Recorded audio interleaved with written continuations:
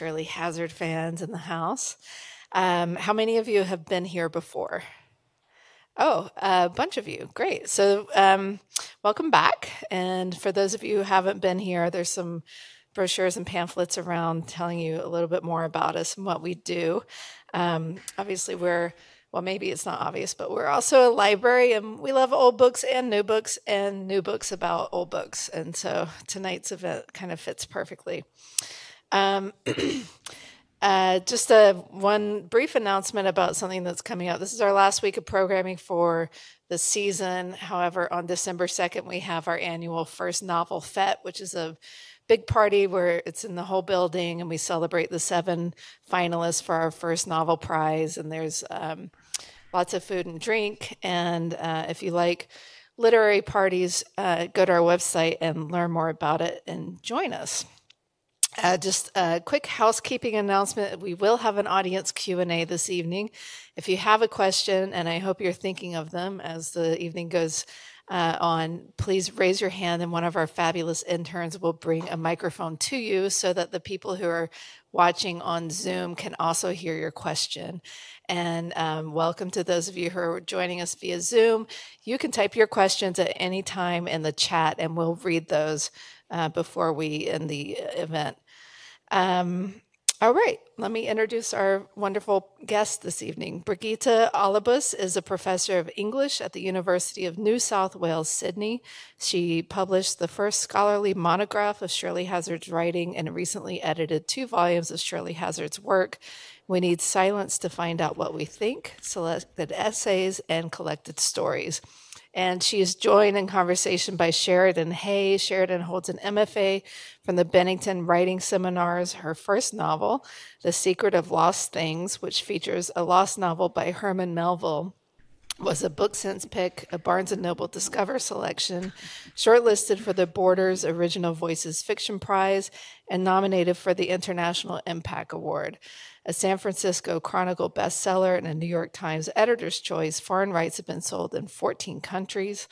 Along with the Shirley Hazzard reading groups here at the Center for Fiction, Sheridan has led our Moby Dick reading group many times, as well as leading the popular Henry James reading groups. And if you haven't taken a reading group with Sheridan, um, check that out. That's something else we do um, that people love and keep coming back for.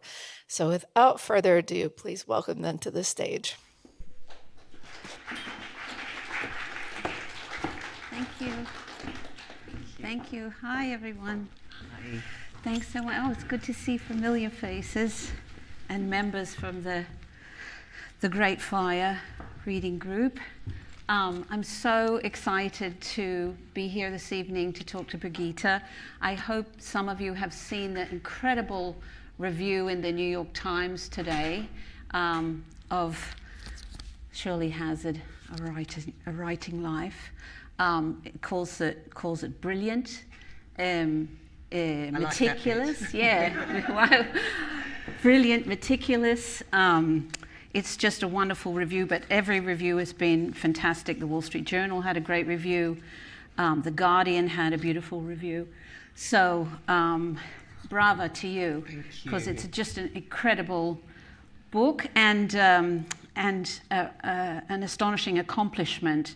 I mean, it's, it's 500 pages long, and it's as meticulous as Shirley Hazzard's prose, which will give you some idea of um, the level of detail and how. Um, I was saying to Brigitta, I was kept saying to her, we have to stop talking because we'll talk it all out before, beforehand. But one of the things that um, is, was, is just astonishing to me is the, the, the, level of detail. And so I want to ask her about the um, uh, Shirley Hazzard's archive um, because um, the, you know, the letters and the diaries and the, and, and the, the, the biography is just filled with um, the words of Shirley Hazzard. Um, as well. But b- before we get to that, I just really wanted to have kind of a general thing because I don't know, um, I, I, know I'm not alone in this regard that um, Shirley Hazzard is a kind of uh, exemplar, and not just a writing exemplar.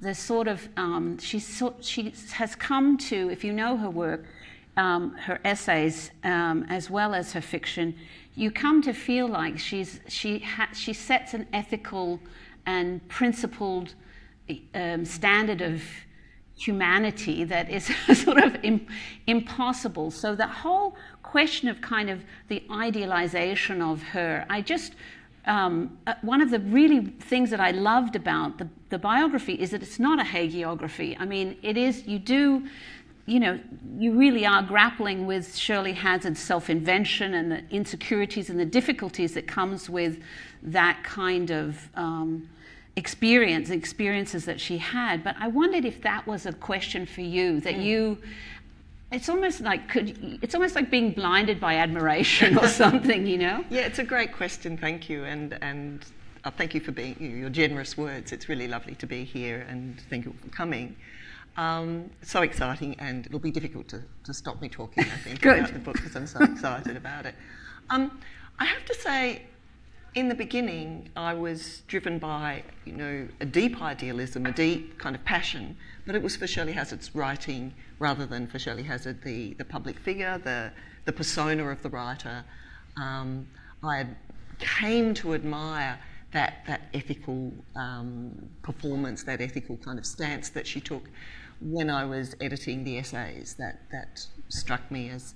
And I think initially I wasn't that interested in her as a, as a public figure. I found it a bit mannered and a bit reserved, and um, whereas the, the writing, the fiction, was so courageous and so mm. audacious and extraordinary, and that's what you know drew me in was the, the passion and the perversity and the excitement of the writing. But working on the, the non-fiction and then slowly as I, as I went deeper into the archive and found the, the diaries and, and the letters and so on, seeing this came to really appeal to me was a sense of herself as a heroic person in the world, mm. as someone with profound responsibilities as a, as a person, as a reader, as a thinker, but also as a writer. Um, and that she's a, well, going back to her early days, she's a young woman from a provincial world that comes into the big world, and she will not let anyone condescend to her, not mm-hmm. for a mm-hmm. minute. Mm-hmm. That she sees her her path in life as significant, as worth fighting for, mm. and I found that so exciting, and that propelled, in a way, much of the narrative. And it's so. Um, I mean. It, I was going to say it's unaccountable, but you account for it. I mean, you account for various sources of that bravery and that mm. courage. Um, but um, the the the beginning outlines of her life are, are, extraordinary. I mean, from the age of 16, never going to school uh, again. And I and I, I wonder if you could talk a little bit about just the the profound impact of poetry of her astonishing memory for poetry and how you, because um, early on in the biography you refer to the fact that she was started off thinking that she would write poetry. And I wondered if any of that is any in any of the papers mm. that you came across, any of her, any of her, what she called her bad poems. But maybe you could just talk about. I mean, it's almost as if she was born into language. Certainly born into language. I mean, she was precocious reader, a precocious, um, her mother told the story that at 18 months she recited The House That Jack Built in, in its entirety. Um, so, so, so, maybe the taste wasn't fully kind of honed at that point. um, but then she went, she went into poetry very early, and um, that was absolutely formative for her. Uh, I think also there's something really significant about the period, um, that mid century period, which, I mean, many people of her generation, it was the opportunity of formal education, tertiary education, mm-hmm. that provided that social transformation that changed their lives and, and opened all sorts of things up. She didn't have that. She had parents who did not respect education. They came from, she's described certainly in Australia as someone who's very elite and, you know, from a very um, yes, elevated ironic, background. Isn't it? That, and yeah. her, both her parents came yeah. from very, very dark and quite unknown obscure, of, oh, yes, in, in every sense. Sources, yeah. And they did not respect education, and she felt herself to be very much at odds with, with their ethos. Um, and so, but what she did was seize the opportunity of the the great excitement of intellectual life of the mid-century that was particularly forming, uh, particularly around literature. Mm. Um, so she comes to New York. There are institutions like the New Yorker, you know, and, and then she publishes with them. And, and, and I think that context for, for what she produced and what she was reading and so on is hugely important. That you've got publishers you know, publishing Auden. She's rush, you know, rushing, uh, yes. catching the ferry into the city to right, buy to the latest yeah. Auden. Right. But even in, even as a, even as a, a, young, a very young woman, before she's in Hong Kong, she talks about you. You, you mention a, a, an episode where she she spends too. She buys an expensive volume of essays and she doesn't tell her parents that she hides it as if it's contraband, mm. you know, um, and and just the deep pleasure of so I mean so already there what you're what what you're, you have an association with the deepest thing in your yes. life, yes. the most interior thing in your life has the has the added value of being prohibited, you know. So well, particularly so, as an adolescent, that's that's really valuable, isn't it? But um, but also it takes material form and you know she talks about the smell of the books and all of that and how um, it's very sensual her, her account of reading and she kept all those books so amongst her library um, I found you know the the um, Leopardi, Leopardi that, that, she, she bought, in, in, New Zealand, in New Zealand to, that, to teach that changed herself her life. Italian. Yeah. Well, that prompted her to, to go off yeah. and learn Italian. The um, the early early Audens, um, some of the Russian novels that she bought after she fell in love with um, Alexis, and um, so they, her, her uh, estate has given those to the State Library of New South Wales. So there's an archive of her books, quite properly, I think, going mm, home. Yeah. Um, up until the early 50s when she comes to New York and starts buying books here, and then the others all sort of went mm. to, to different places. But it felt very important to me to keep that that record of the earliest reading of one of the most extraordinarily well-read writers we, mm. we have that, that went home. Well, your, your, book of your academic book of essays has cosmopolitan in the title, and I and um, uh, I, I, mean I can't think of anybody. I, I can't think of anybody who's come from the the the sources that she came from who was able to develop um, as astonishingly a cosmopolitan sensibility and um, intellectual foundation. Yes, just just uh, uh, entirely based on her own. Um, I mean, you know, she would seek out people who were who who she could learn from and who who engaged her, yes. but but she's entirely um, self-taught. Self-taught, the autodidact, but most definitely. Um, but she also had the great resource of the U United Nations as a kind of repository because the UN in those days attracted really, really interesting, really diverse people. And I provided quite a lot of little backstories of many of the people that she wrote about as her friends because they are so extraordinary. Yeah, you know, people mm. quite, quite polymath, quite maverick, um, who were working across arts and literature, and then they're all choosing to go and work for the UN. So there was this collective investment in that cosmopolitan, in this belief in mm. the, the international as a solution to the problems of World War, the, the, the traumas of World War, was a misplaced hope perhaps, but it was profoundly important to her. Um, so it's self taught, but the opportunities were there. And she was in New York. She was in a place where she could tap into these these extraordinary. But, but very early on, I mean, her her her her perceptiveness and her intellect had to have been apparent to attract the sorts of attentions that she that she did. From starting with um, Alexis, maybe you want to tell that story, which, which, seeing as some of you are reading The Great Fire with me, um, uh, Aldred Leith's character is has its source uh, uh, in um, in a biographical experience, an autobiographical. It's very, very closely yeah. based on um, certainly the the facts of, of, of, that romance. She was the 17 year old working in a, a, an office in, in, Hong Kong rather than Japan, and he was a, an older man in his 30s. But speaking about that, that cosmopolitanism, he was a, a white Russian. Mm-hmm. So he had come with his family, escaping from the, the revolution. They travelled across, uh, across Russia to Shanghai. He grew up in Shanghai. He spoke several Chinese languages. An extraordinary man.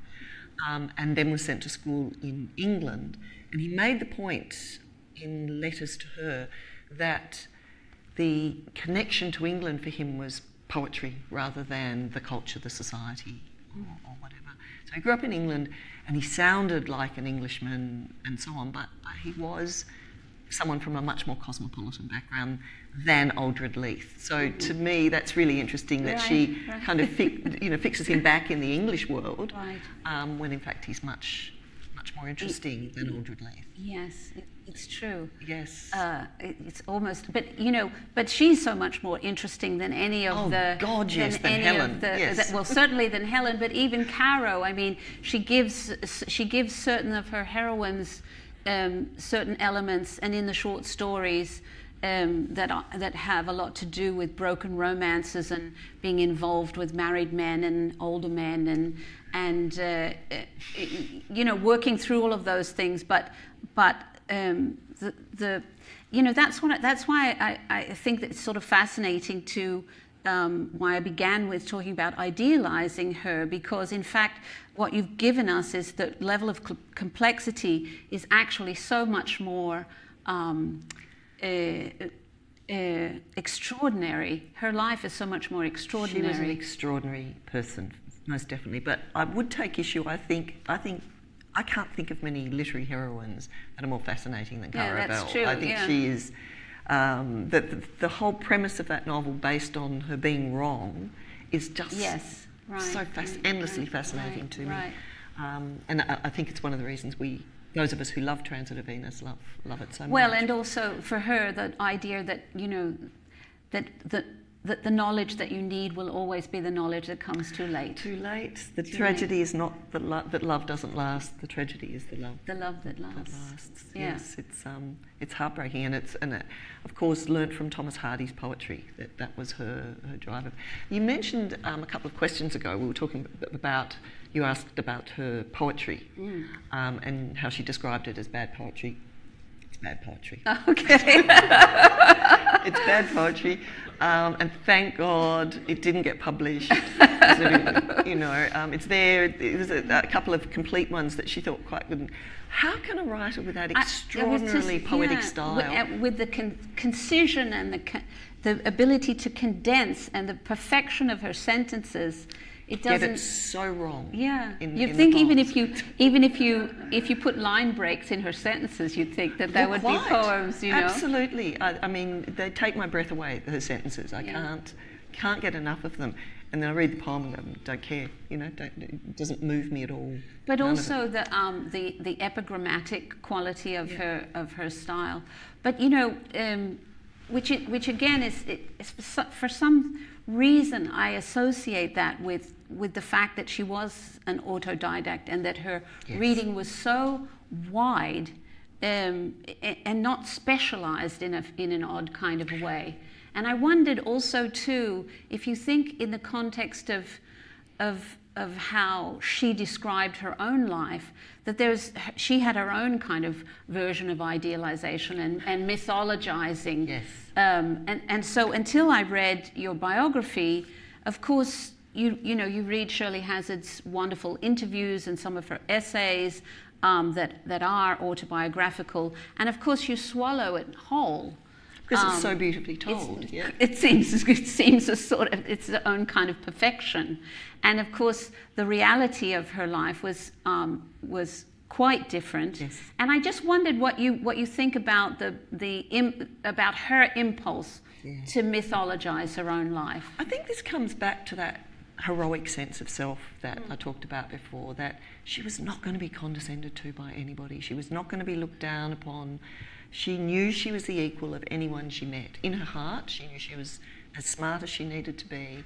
She was full of imagination and she worked so hard at, at acquiring you know, all that reading all her culture was, was really hard won, mm. and, and I think enormously of, enormous value to her because of that.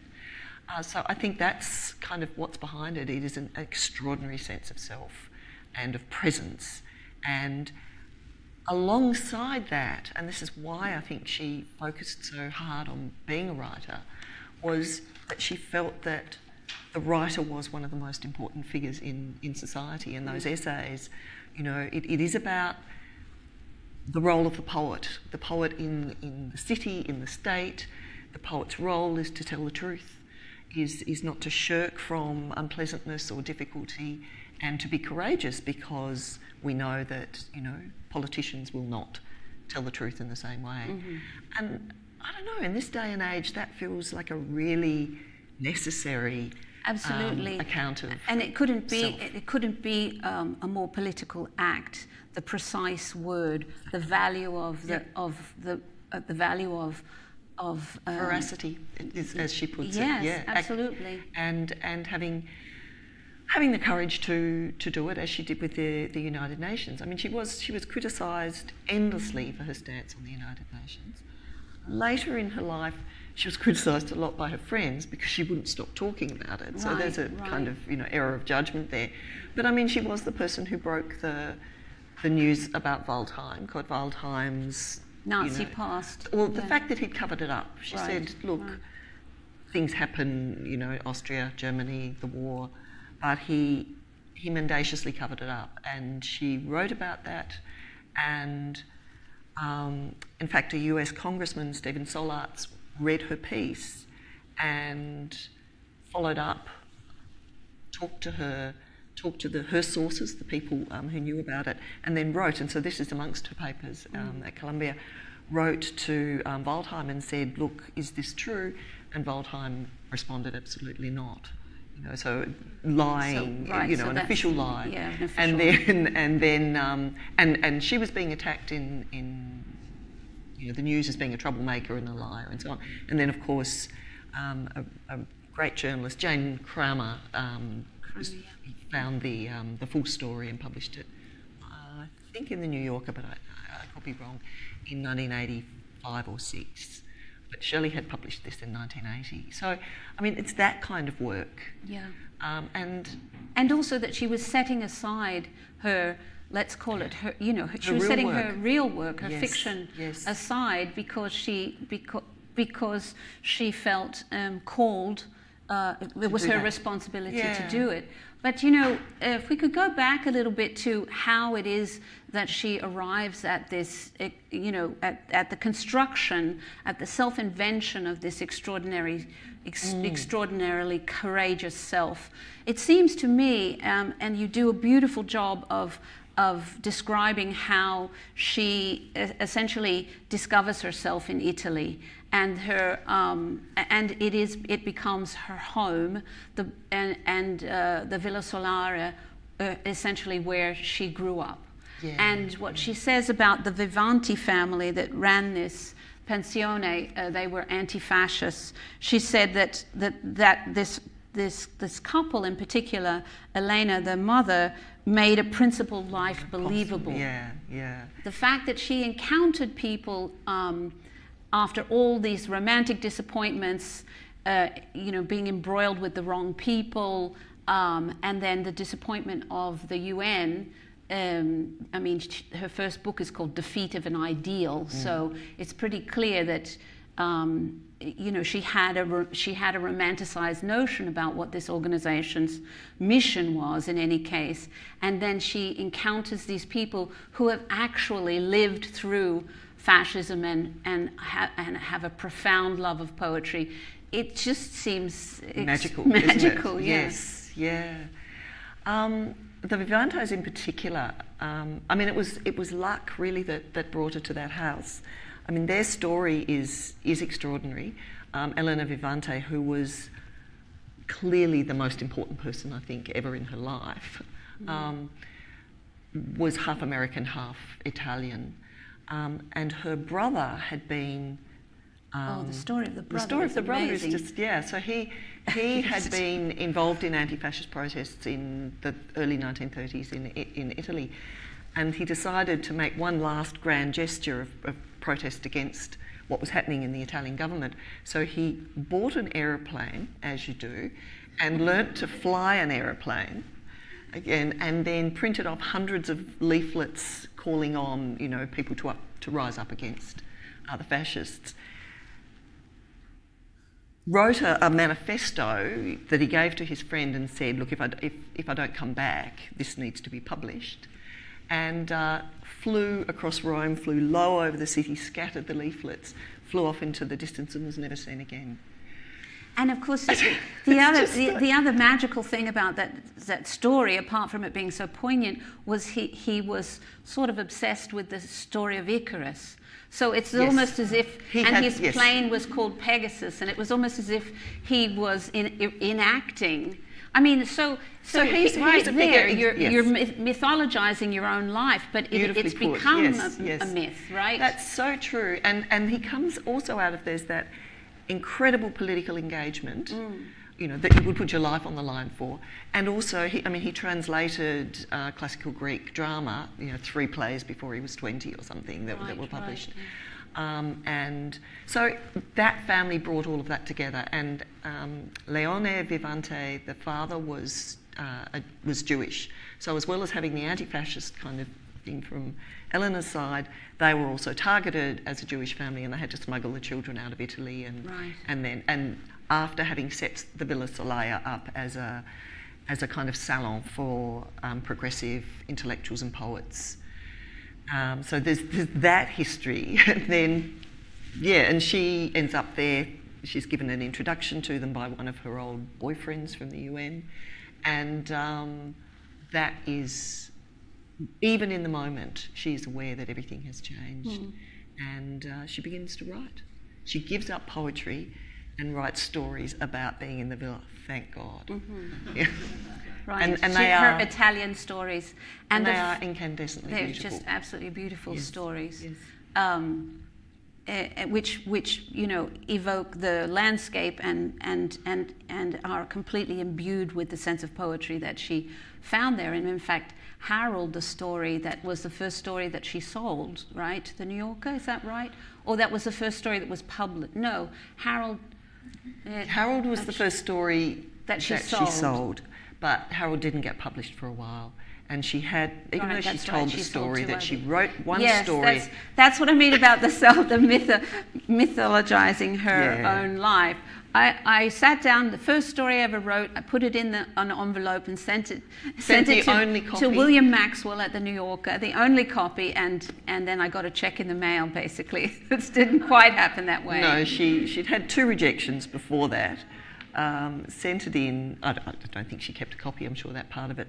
But also through the Vivantes, she had met Dwight MacDonald, right, who right. was the. Which is, it's the, the, complexity of the story actually makes it far more interesting yeah. because it was through. So she's a guest uh, in this beautiful um, in this beautiful villa. Um, you know, quite run down. It's not. It's not. It's not that it's glamorous. It's a, it's glamorous in a but cosmopolitan it's, it's sense. Yeah. And, yeah. and, and Dwight MacDonald is another guest there, and uh, he passes on a story to William, to Maxwell. William Maxwell. So, so she, it's not that it was fished, wasn't fished out of the slush pile, in other words. But for Shirley telling the story, you know, it, it, in later years, it was magical. Yeah, it was magical. So it may as well have just let's just just and, tell it and that William, way. William Maxwell made the point that he said there was never anything to, to edit, hardly. And, and that's all borne out. I've looked at all that correspondence. It's a, it's a comma here or whatever. It's, it, he said she came perfectly formed. She, formed he said yeah. she must have done an apprenticeship somewhere, but you know, under whose eyes, he said, I imagine it was her own and that's what that's what I found. It's so extraordinary. I think you you mentioned that maybe that one of the son, Vivante sons yes. they exchanged writings and he was published Arturo was it Arturo Vivante was, was published was published in, in, the New Yorker yes, also yes. too so they're they're exchanging things but um, I think it was actually um, you you, you indicate this in, in various places that um, her letter writing was clearly extraordinary from the time that she was writing to um, Alexei, the you know this glamorous figure from whom she was parted unwillingly by her parents at 17, and and in a sense you know, and returns to in the Great Fire, essentially makes that, mends that break after 50, 60 years or something. Yeah. Um, but she must have, she was clearly um, inspired to write to him uh, in, in, um, in a writerly, in a literary sense, as well as a romantic one. Yes. Um, well, yes, that's true. But one of the really striking things I found is I, I, I we still have her diary from 1948 and 1949, and we have those early letters. And the diaries, you, you look at Sylvia Plath's diaries from the same age, and she's a very similar age to, to Shirley Hazzard. Um, her diaries are just exquisite. They're so poetic, so profound. Shirley's are just whining 17 year old. it was so, it's like, really, this woman, you know, that she couldn't write a bad sentence, except, and the letters to, to Alexis are um, better, and she's learning to express herself more kind of heroically, more confidently, more mm-hmm. assertively. Mm-hmm. Um, but no, her, her diaries are not, are not a polished writer until after Italy, and then everything changes.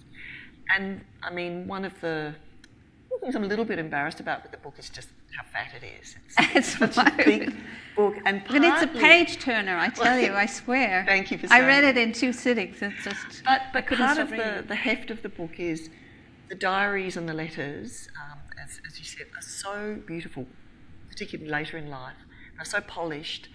And I think of all her readers through those years waiting for another novel. And here she is writing these really long letters, and they're just so beautiful. She, and, and, and in her diaries, she's recording. So this is later in life, living on Capri, living in Naples, even living in Manhattan. And she's just describing the world around her, the, the, the quality of light. It's always describing the clouds, the sun, the sea. sea, the Beautiful cats. writing about the sea. Yeah. But but also um, even the sort of epigrammatic element comes into it as well, Definitely. and her wi- her wisdom Yes. seems to be very much sort of at ha- even when she's upset or whining, you know, it seems. It seems a better class of whining to me, you know.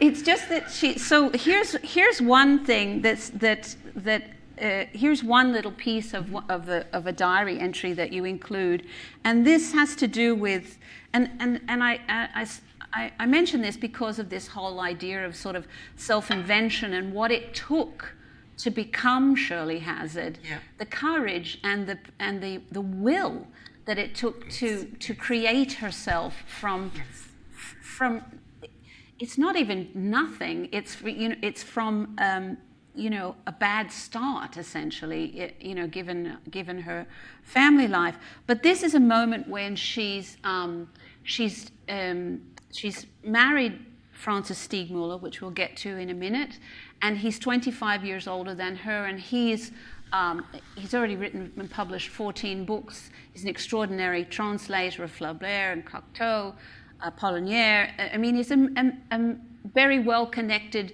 part of sort of older New York society. And Shirley had just been, she'd be, just been published by the New Yorker, and they, they, she signs an agreement with the New Yorker that um, they will have. Um, they sh the first things that she writes they'll have the first look. So this actually is the first moment of economic security that she's ever had her entire life um, because the UN salary as a secretary was a pittance, right? And she'd been living with her um, mad mother, and, and, and so she had finally, once she's 32 years old, she ha- got her own apartment, and it was the first time she ever had anything of her own, um, including the, the furniture that, and, the, and the things around the apartment that she got. And of course, then she meets Steegmuller. In a year, they are married, and she has to move everything out from that apartment and put and you know decide to um, you know accept all of his things, including you know Picasso's on the walls and Matisse's and things.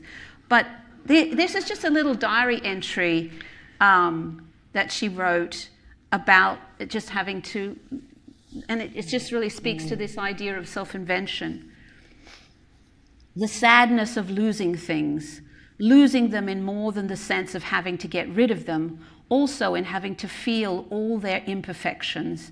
These things I acquired with such effort. No one knows what effort. Being made to apologize for them instead of being proud.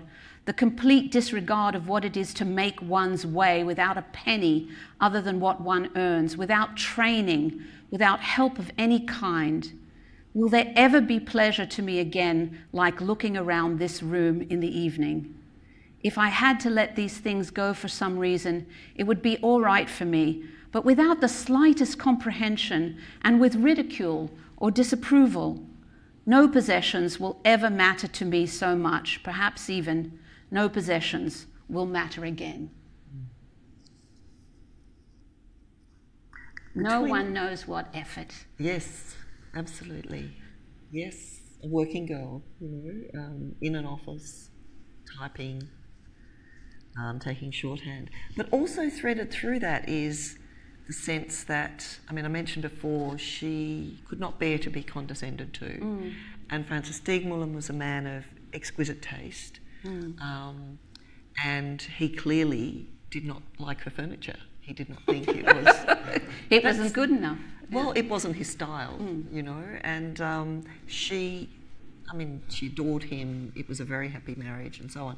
But there's a there's a cruelty in that that she is really alert to, and and uh, that was one of the big surprises actually of, of Well, finding yes, that. it was a big surprise to me to read um, you. You uh, give us an, an entire sort of um, pocket bi- bio of Steegmuller, who is a fascinating figure in and of himself, of itself, and. Um, uh, again, the idealization of their relationship f- when in interviews and in um, conversations that uh, you can um, read about, and even um, publishing essays together in, a, in that collection of the ancient shore and stuff. You know, you think of this just this Perfect uh, marriage. perfect, of course, which of course is is absurd, but but you know, idealized nonetheless. And um, so maybe you could talk a little bit about um, the complications of that because I just assumed that I bought Shirley's entire story about, you know, they met at a party as W.H. Auden was leaving the room and Muriel Spark had fixed them up. And Muriel Spark had said to her, you know, uh, you're going to meet the man you're going to marry tonight. And a year later, they were married. Well, that is true. A year later, they were married, and the W.H. Auden part and everything. All of that's true. But there, there, his wife, his first wife, after a very long marriage, had, had died. He was seeing another woman most of the entire time. There was a huge ambivalence there, as well as other complications. So, sorry, I'm just setting you up for that. Yeah, it was. Um, I mean, there was there was obviously an extraordinary connection between the two of them that was about intellect and uh, literary sensibility as as much as anything. Um, she always liked older men. Um, all her partners were significantly older than her, and he he was. Um, but of course, the other the other kind of background story with with Francis is um, the, the open secret, so called, of his sexuality, which I didn't find any final conclusive evidence to, to kind of determine one way or the other. So you, you talk to people from, from that, that time who knew them, and so, oh, but everyone knew Francis Steegmuller was gay, you know. And then and so I look at the work that he published, and you see there's Flaubert. Well, that's that that has a gay coding for sure. There's Coded figures, yeah. The, Yeah. the drag queen that, the- who wrote uh, Barbette. Yeah. Um, so Barbette's just like a brilliant character. Cocteau.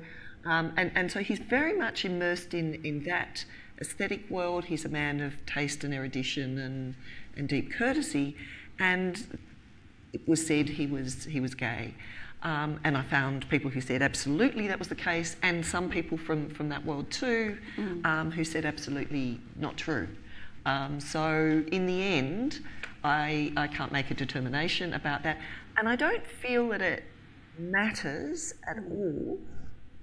No, no one really minds who people sleep with.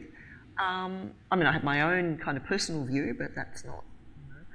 And I think um, what was appealing to her about it was not just the erudition and the, and the taste and the refinement, but also the complication. Mm. So the complication of his attractions, of his affiliations. The person he was seeing was another woman. Um, but Muriel Spark writes to her, you know, yes. have you thought of asking him whether, you know, the other one's a, a he or a she? You know, not not that I'm suggesting anything, but, you know, um, I'm always Shirley attracted says, to I men. thought of that already. I thought of that, and no, no, it's not that, but, you know. Mm. Um, and I think it was, well, he, he was grieving for his wife, his first wife, absolutely. Um, which, which in and of itself is a fascinating story because she had she polio. Is, yes. And so she was confined to a wheelchair, and they lived in Paris in the 30s. She was very wealthy. Very wealthy. She studied painting with Jacques Villon, Villon who was yeah. the, the brother of um, Duchamp. Duchamp. Mm. And so they hung out with the, with the Cubists in Paris in the in the in the twenties and thirties. Just they just knew everyone, yeah, they, they and just collected things for nothing, and that's that's how he came by his, having his, his extraordinary art collection. Art collection. Um, so there's all of that. Mm. She was wealthy, and he, he inherited wealth. So that, that's not going to hurt if you're you know worried about money and and and looking to marry someone. But also, she she says something like, when I looked at his face, he he it wasn't someone who had suffered It was the face of an interesting person who had lived an interesting life. So she's interested in that. so the, the recognition of, of grief even is as as an appealing thing. Yes. As an indication of depth as well. Yeah. So to take up your earlier point, the reality is much more interesting than Absolutely. the seamlessly happy marriage. Absolutely. And they do, you know, she she records in minute detail many of their um, disagreements those are fascinating, not the least of which because they sound they, they start to echo some of her short story dialogues because yes. they're so sort of snappy. Yeah, yeah. You know, but you can see, you, but she's also very hurt in, in, in the exchanges. As um, one of her friends said, and I think I quoted in the book, she did tend to take things personally, you know, and but that's that extraordinary sensitivity and sensibility that manifests in she can walk around Naples and describe what she sees. She can sit in a Tuscan villa and describe the light and the children walking across the fields and the sounds. And it is so precise and so exquisite. That all comes from the same place as that that capacity to be hurt and yes, to yeah. and to throw herself into melancholy. There is a, a profoundly melancholic thread running through her work and through her life. love is always lost. It's always too late. Right. Well, we would, you and I were talking earlier, and, I, and, and with the Great Fire Group, this is something, this was a quote that we came across with Aldred Leith says, um, the experiment of love is itself aberrant more often than not and doesn't lend itself to classification. But you know, that whole sort of was is Francis Steegmuller gay thing. You have such a light touch with that, Brigitta, and I, I really thought that it was really wonderful. You said at the end of that chapter, from all this, not much can really be deduced with any certainty, and certainly nothing that would challenge or disrupt recognition of Francis and Shirley's devotion to each other. What remains and remains important for Shirley Hazzard's life and work is that she found happiness in marriage to a man with inclinations towards literary and artistic figures and subjects marked by complexity rather than transparency, mm. and a preference for the undisclosed rather than the vaunted truth, interests that drew her to him, which she shared. Yeah, this inter- the interiority of it. Yeah, no, it's beautiful. Um, but, but, but, you know, I just, you know, you just close the speculation on it because, and then get on with their actual, you know, with their actual relationship. Yes, and and you know, and that's why it's interesting. You know, is, is because she she wants that complication and she produces it in in all the stories. They are, on the one hand, con- conventional love stories and on the other hand, something completely other than that. Well, you used the word earlier, perverse, mm-hmm. um, and, sh- and she gives Leith the word aberrant. I mean, it seems that there's a kind of fascination with that. It, it, you know, one of the astonishing things I think for readers of the Transit of Venus is the is the relationship with with uh, Caro and Paul and where that goes, um, and and and the fact that the dead body on the first page it re- relates to that encounter. Yeah. Um, so maybe I mean, what do you think about that? Because um, even the even the perversity, let's call it, of the love relationship in the Great Fire, or the or the evening of the holiday, it can't, you know, they, they have some kind of moment where they're looking at the uh, disappearing face of a fresco of the Virgin, and it's a it's it's a profound moment that you know that the love is sort of seeping away out of this out of this passion so you know, what what what do you think about about is it isn't it expression of another expression of her complexity? Well, I suppose this is where we move from who she mm. was to what she wrote mm. and what she imagined, and the, and the line that connects them is the act of imagining and the act of creating and of, of fiction. And uh, she begins with, I mean, I really wanted to find Paul Ivory you know, I wanted, to, uh, you know, oh, I wanted, yeah, yeah. I wanted Frances to be gay so that, you know, that was the betrayal that led to that great storyline. Yeah, it's fiction. Yeah, yeah, It's extraordinary writing. It's made up. It's based in apprehensions and moments and hurts and dreams, and it's based in old stories and poems and all those things as well. But that's the genius of of that book mm. um, and and of all of them is that she she creates you know, completely new trouble, a completely new complication. Um, and that complication of gender is ancient. It feels like Ovid, right? It is coming from some, somewhere else. That whole novel is a palimpsest. But I mean, so is The Great Fire. It just seems extraordinary that that, and I think you end up turning to her um, autobiography, uh, having a sense of the origins of it, of, of her biography influencing, because you can't believe that, um, that, that the story that she has created, which is so Conradian, and in fact mirrors even a Graham Greene novel, mm-hmm. yes, The does. Heart of the Matter, that, that also mirrors an aspect of her own life. You know, so it's almost as if, well, wait a minute, which came first, the literature or the, was she just, you know, was she, did she perceive her life through um, this, the, and the, all the, those her things own happen, reading. All yeah. those things happen all at once. All at once. Yeah. All at once. I mean, that's the, the, reading I do of the of the Bay of Noon is, you know, it, it, it's like Twelfth Night. Mm. Uh, not Twelfth Night. Sorry, it's like a, uh, yes, it is Twelfth Night. Sorry, Twelfth Night, yeah, yeah, yeah, yeah, With the with the with the yeah, and, and interchanging. and she says early on, you know, I came to Italy because I was in love with my brother. Right, with your brother. You know. I mean, well, that the incestuous things are too, are, are, and the and the draws of of uh, the draws of that of of a of a um, uh, of a prohibited intimacy um, are are profound always. Yes. Um, but also they're familiar and ancient stories. Yes, you know, yeah. there, there, there, are cross-dressed figures that make love happen, that make love possible. Um, and she weaves that into a very conventional love story that, you know, um, so it's, it's, it's that interweaving that I think is, is very distinctive. Mm.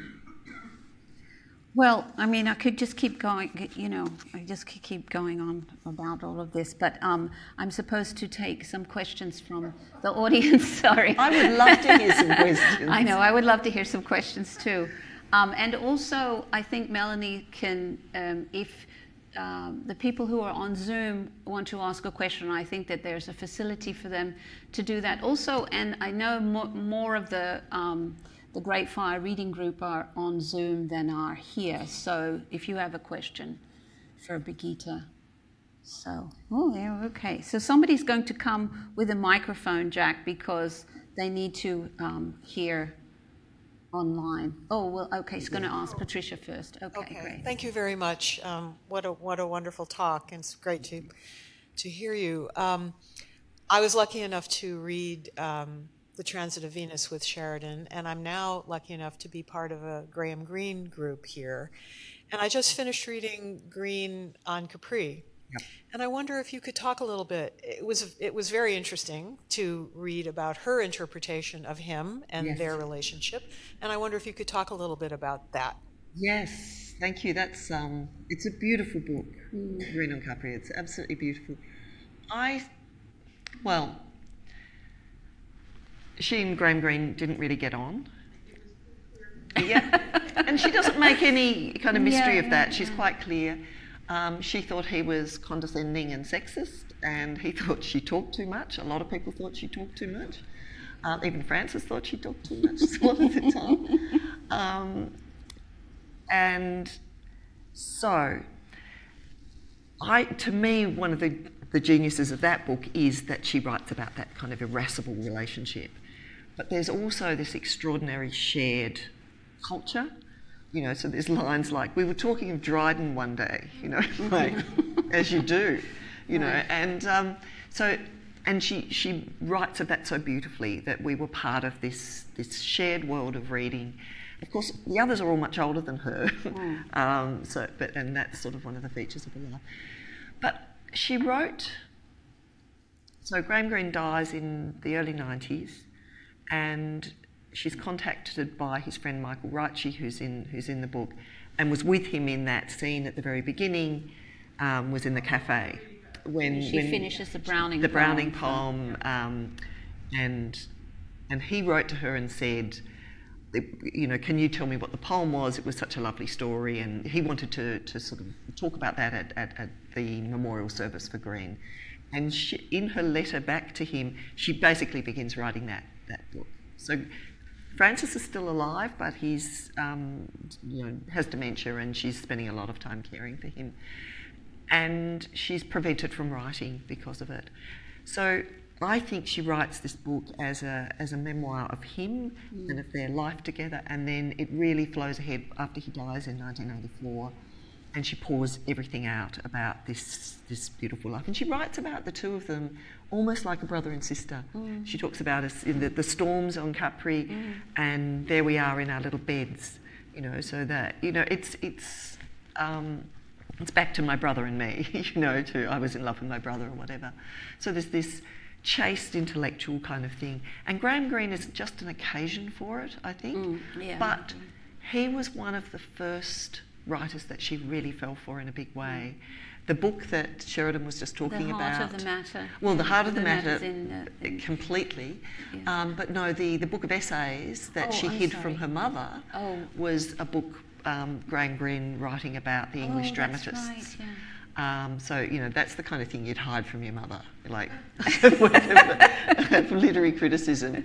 Uh, but that's the kind of family she came from. So she and, and she wrote in her diary, you know, SH and GG. Who who would have ever imagined it? This is like so. It was so exciting for her to meet and become close to one of her. Do you think Oliver Heroes. Leith is a um, Oliver Leith is a kind of Graham Greene figure That's almost in point- the, I- I- yeah, in the in the Great that Fire? makes sense. It almost Yeah. it- his dialogue almost sounds like Yeah. that comes from Greene. That's a But, um, so so it, it, it had that kind of function for, but of course it, it raised a real furor, um, which I do go into in the bi- uh, but with um, Yvonne Cloetta, his partner, um, who wrote these furious letters to Shirley Hazzard saying, you know, didn't it ever occur to you, Shirley, to wonder why Graham Greene didn't like you as much as you wanted him to? And stuff like that. It's really good. So. Right. Yeah, no, that was really fascinating, actually. Yeah. Um, yeah. Um, Jack, you had a question. It seems from everything that you've said and from what I've come across before that you know, sh- that she's an autodidact. But what happened before she was 16 years old? I mean, she must have had some sort of a model or a mentor or something that hmm. inspired her to work so hard. Is there, is there Yeah. some something to fill that void? It's such a mystery, isn't it? What I found was she went to a you know a good private school. Her parents had you know that that kind of money, and she said we had a fantastic education. Um, and everyone read, and but she's speaking more about the period. I think you know that in primary school you were introduced to Dickens. You know, every, every, You she said even the- poems, which she right. already was doing. And she said um, even the you know the dimmest girls in the class were reading Oliver Twist or whatever and, and coping with it, and then we went on to Conrad and, and so on.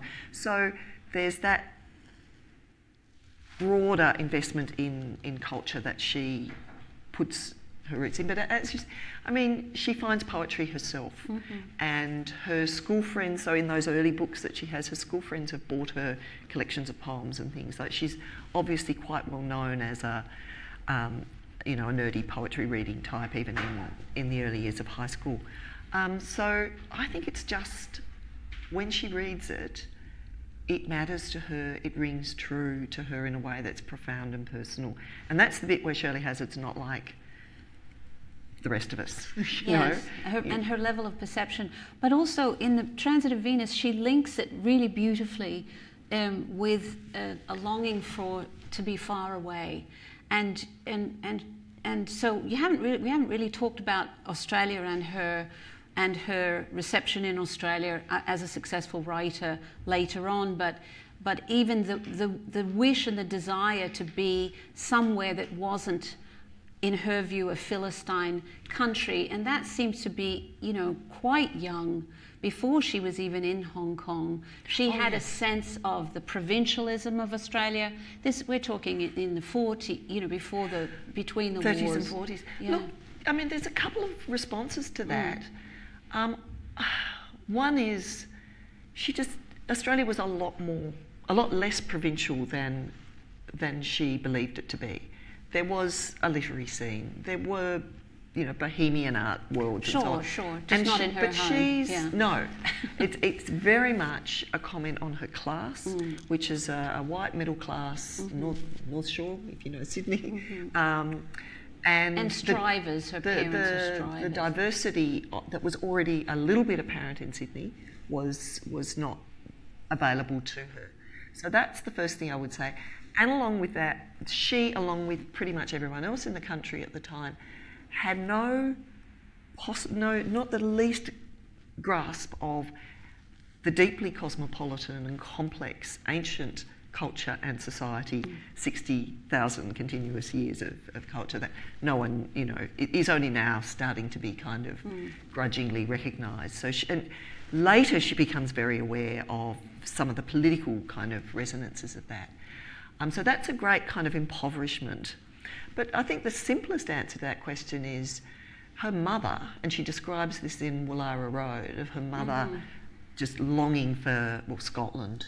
She hates being in Sydney, she hates Australia. So I think she learnt that at her mother's mm-hmm. knee too. She, you know, like like the daughter of, of immigrants, you know. Oh, that's a very except, Even though her father wasn't an immigrant, yeah. she, she, pretended he was. Yeah. Um, but she, yeah, she um, just follows her mother's lead on that. And that the, that, that the real life belong is happening elsewhere. And then, of course, some of her education would have reinforced that in the sense that it would be English poets that she had to memorize. Absolutely. And I mean, you probably remember this yourself. I do.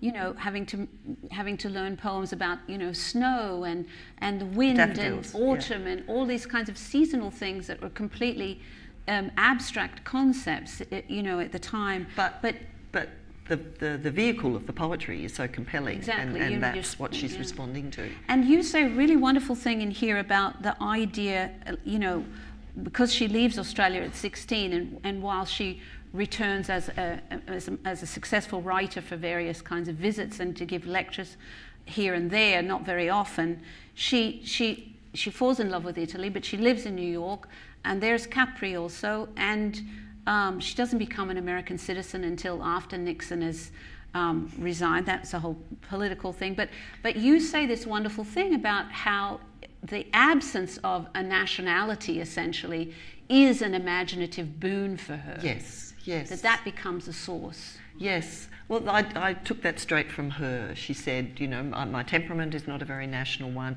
It is a privilege to be at home in more than one place. Mm-hmm.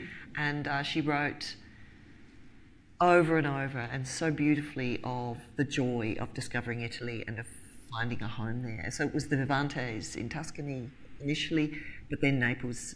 You know, and so it's not the cliched Italy.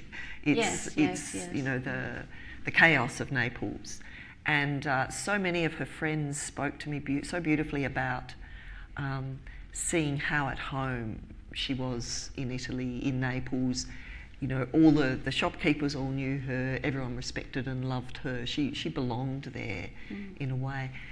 the other side of it, of course, is the great sadness of, of not belonging anywhere, and Mm. um, that was really evident to me when I went and looked at her her grave, Mm. um, and seeing she's buried with Francis's family. So he goes home to his family, and she's in a strange place, you know, in Mm. a Catholic cemetery. She's not a Catholic.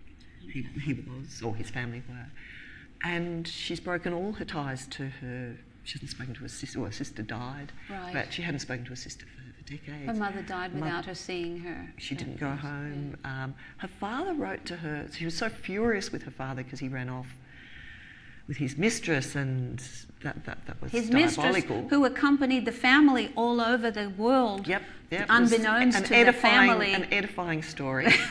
um, and uh, Driscoll, she, give, she gives that to Driscoll in The Great Fire. yes, she does. um, and she, so she doesn't speak to him for a decade or so, or maybe not quite that long. And uh, and then he writes to her and says, "Look, can we bury the hatchet and you know reconnect?" And so they they exchange a few letters, and she sends him a photograph, and he says, "You know, thank you for the photograph. It's very strange to me." To see my daughter and realise I could have passed her in the street and not recognised her, which is just, you know, that, that really encapsulated for me how even before that final sense of isolation, she was not part of her family. You know, Father would not recognise her. you start to make it, you start to make me realize why the mythologizing of her life is so crucial. Why it becomes so important to tell the story of your life the way that you want it to be told. Well, we're all the, you know, the princess rather than the goose girl, aren't Right, we? You know, right, it's, um, right. it's that old story. But it's also, uh, and, and because it's so entirely self, it, she's such a figure of such self-invention that it's, it's, the, it's a necessity because of what isn't there. Yes, um, which is, you know, affection, family ties, um, compatibility, conviviality, those things. Uh, any kind of recognition of her sensibility. and, and substance. That she could not bear to think of herself as not being a person of substance in the world who, who would make a mark. Can you talk a little bit, um, just while we're at the end, if you, somebody else has another question, we can do that too, but just about the criticism that she received from Australia and how, how wounding that must have been. Um, there's a, there's a, a quote that she says in, the, um, in one of the lectures that she gave. She gave this in 1984, we should bear in mind, which is, which is an extraordinarily um, confrontational thing to say in Australia in 1984 because lots of, especially men, wouldn't have acknowledged it. Australia is not an innocent country. This nature's short recorded history is shadowed into the present day by the fate of its native peoples, by forms of unyielding prejudice, by a strain of derision and unexamined violence, and by a persistent current of misogyny. Fighting words. Yeah, so yeah, she, that was, she was not making friends No. when, when she was saying that, but still, Yeah, I mean, that, this was a really prestigious series of lectures. The, the Boyer lectures, eminent, prominent Australians are invited, and, and they're meant to provoke debate. Um, so the back, there was a couple of backstories there. One is in the early 1970s, Australia elected for the first time a very, very progressive government, government of um, the Labor Party, Gough Whitlam, and in about three weeks he transformed. He pulled Australia out of the 1950s. He pulled the Australian troops out of Vietnam. He recognised that we set up the thing for, for recognising the legality for recognising native title, the Australia Council for the Arts, um, you know, the Office for Women, uh, free university, you know, for everybody it was just a, it was a revolution. an absolute transformation. And so she goes to Australia in the 1970s and she says it's as if the country has become young for the first mm. time instead of this stodgy 1950s world. It was exciting and there was money, they were going into the arts and there were independent publishers and as Tom Ken- Keneally said, everyone was writing a novel, you know, every, it was just this incredible. And she and was, making a film. and, oh, and then it had a beautiful, you know, film industry. That all crashed in mm-hmm. what 1980 with Gallipoli, but you know. Um, and Francis was completely enchanted with it. He said it was like um, the New Deal kind of period in, in America. He said Adelaide, they went to the Adelaide Writers Festival. It's like one of the Greek city states, you know, this deeply civilised. And she wrote a long piece in the New Yorker called A Letter from Australia. And she details this in extraordinary detail, and it's this love letter to Australia, in fact. Um, it- and so uh, I think it was on the strength of that piece of writing that she was invited to do the Boyer lectures. Oh, I see. Between the late 70s, when she wrote the, the New Yorker piece, and 1984, she'd had a big falling out with Patrick White, um, who had been less than kind about her writing to her. And um, another Australian writer called Murray Bail, um, very closely bound up with Patrick White, was relaying to her all the bitchy things that Patrick and his friends were saying at their dinner parties, mocking Shirley, mocking other women, and mocking Shirley's friends for liking opera. I mean, mm-hmm. it, it, it really, really unedifying. And she writes these incandescent letters of incandescent rage. You know, does no Australian man ever get tired of his misogyny? You know, it's this, this and she had been planning to leave the art collection. She and Francis had planned to leave their art Oh, collection right, to the Art. Gallery of New South Wales, which would have been this beautiful gesture of giving art to the city that had no art in, in her view. But she was so infuriated with, um, with Patrick White and Murray Bail that they uh, rescinded the uh, bequest. Um, and that's the background to that, that, That quote. that yeah. quote, which was true. I mean, one of the things that was so important in the 1970s was this nationalistic kind of fervour because for the first time there was a culture industry. Um, but she was crossed on it and, and, and, and that really wounded her, the cruelty of, of those, those men. And that went on. I mean, a lot of the reviews, she's very much loved in Australia as well, but a lot of the reviews, all of them by men, were the Transit of Venus was not necessarily dismissed as this year's- women's women's magazine fiction or something. Yeah. And it's only it's only really now. Well, I think you you you given uh, I think you have a sense of both the singularity of Shirley Hazzard's accomplishment, but but really the homage that um, that Brigitta has given that singularity. So thank you. Thank you so much for coming and thank and and uh, thank you for wi- writing Thank it. And you a so much for your beautiful marvelous, questions. marvelous thing. And, and you, you for your questions. That's- thank you. Okay, thanks a lot. Sorry, we had to All right. Um, thank you both. It was wonderful.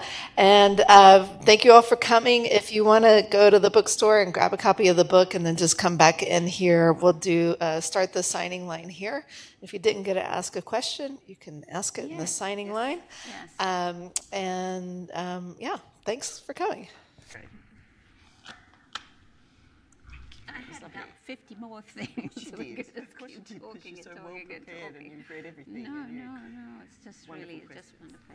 how well served Shirley Hazzard has clearly been. Oh, Oh, thank that's you. Absolutely. It's absolutely Oh, true. thank you. Yeah, That's, no, that's no, no, I, um, I haven't read the reviews of the New York Times Journal, but I hope that they are as, every bit as good as they should be. Thank you. Wonderful book. Thank you. I hope you. I hope you